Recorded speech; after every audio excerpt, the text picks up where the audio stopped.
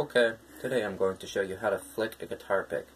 See, as I as you see, if I throw it, I flicked it, and it landed over here. Pretty cool, huh? And the cool thing about this is it goes like a, let me turn that off. It goes like a cart, or like a frisbee, or like a blade, or whatever you want to think of it like. So when you throw Mm, it, it just goes like this and it could do some damage if you have Hardcore damage. pick.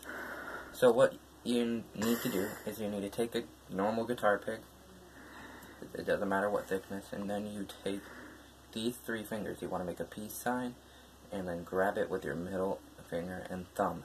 So now you have it like this, with the point facing outwards. So it kind of makes like a V shape, if you think about it. Okay. Are you flicking?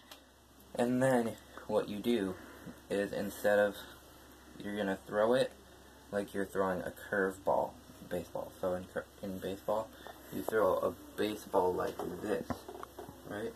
You Mhm. the, the ball up by your head like you're talking on the phone, and then you go like that. So what you want to do, hold it up like this, and throw it, but also flick your wrist like that. So you go, and then it throws.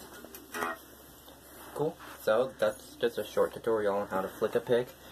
If you want to see more ugh, pick throwing tutorials, I'll do those, but only if this video gets 10 likes.